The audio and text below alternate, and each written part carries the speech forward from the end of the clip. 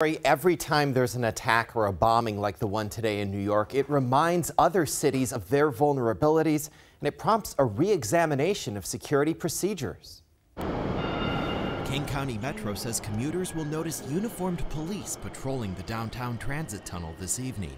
This is a period of heightened awareness, not just for law enforcement, but also for people who use the transit system. Metro says today's New York bombing is an opportunity to rededicate themselves to a sense of perpetual vigilance necessary to prevent future attacks. Overall, there are more Metro police patrolling the transit system. The county last year committed $3 million to add deputies to the workforce, as well as a transit police detective. $8 million went to equipping all Metro buses with cameras. That should be complete next year. Keep in mind, the region's light rail system is expanding over the coming years with more underground transit infrastructure, and that'll require additional investments in security.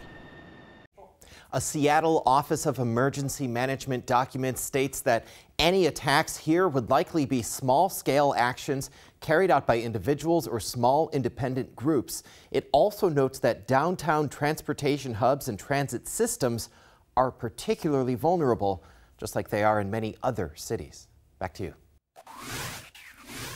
Thank you, Ted. The Me Too movement is making its way into the White House.